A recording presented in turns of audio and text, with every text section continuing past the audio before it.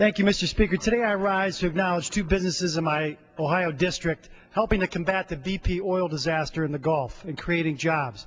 Stanwood Boomworks in Massillon, Ohio is one of 10 companies in the country producing oil booms designed to help contain spilled oil. Over the past few weeks, Boomworks has hired 80 new local workers and are producing 250 booms a day. Boomworks supplied more than 1,000 oil booms for the Gulf Coast workers already, and I want to honor their hard work today. Another local company, ABS Materials in Wooster, Ohio, is taking advantage of National Science Foundation grants to create jobs at home and provide solutions for the Gulf Coast oil spill. NS, an NSF grant helped fund research leading to the formation of ABS Materials in 2009.